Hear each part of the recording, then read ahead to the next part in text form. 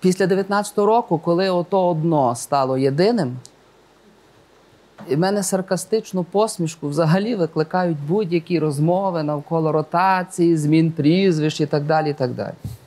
Тому що в нас є одноосібна верховна путінського зразка влада однієї людини, однієї партії. Тому серйозно сидіти і щось там роз...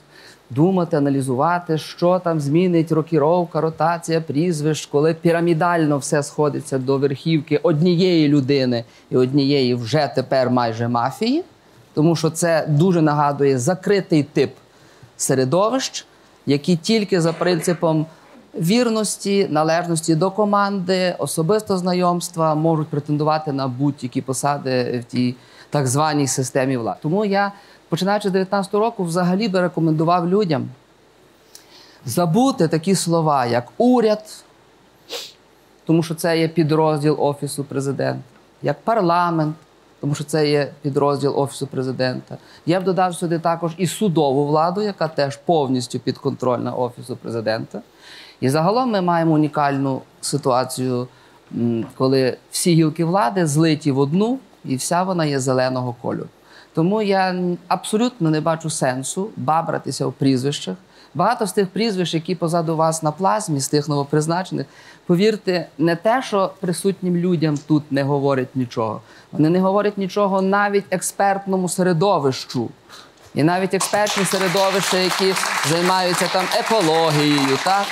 Для них буде питання, хто це, що це, так? І так по всіх абсолютно сферах. Тому я, е, от, не, я не маю просто ні часу, ні нервів, навіть бажання розбиратися, що там на третьому, четвертому поверху погреба твориться.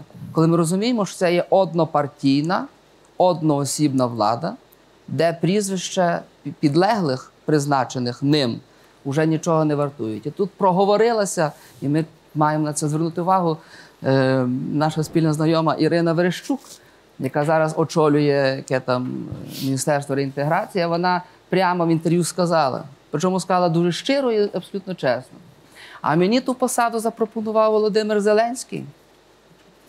І я то сприйняла мало як не наказ. От все, що вам треба знати про те, що таке уряд, які там, які там гілки влади, які інституції.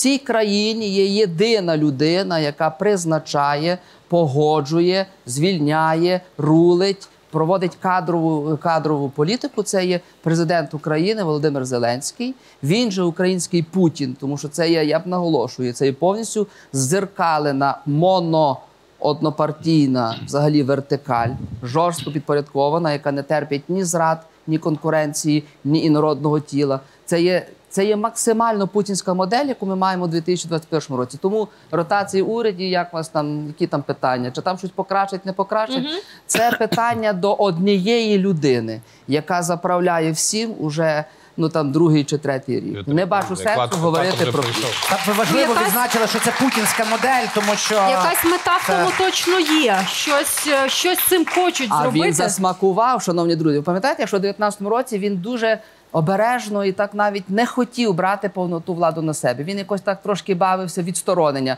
Оце, типа, моя парафія, а оце там Гончарен, цей Гончарук, там той на самокаті, а те там інші, а те там в парламенті. Він якось так загравав. Тепер уже навіть ніхто не намагається і не, і, і не буде пробувати грати варіата. Тепер вони прямо говорять про те, що єдина одна людина, президент України, це функціонал, а не прізвище в нормальних демократіях. Підпорядковує під себе абсолютно все політичне життя і всю політичну структуру. Тому питання не до міністрів, не до того, хто там е, призначили там і, і, і, на що, а питання впирається в одну людину і в її персональну політичну відповідальність за все, що він робить. Тому що я б собі мало уявляю, якби президент країни якоїсь там рекомендував комусь там з депутатів ставати міністром, і це я це приведу через біль. Ну це, це якось неетично стосовно того роз, ну, принципу розподілу, все ж таки гілок влади і компетенції, і цілі інституції в нас є уневажені. Тому це е, нема навіть про що говорити.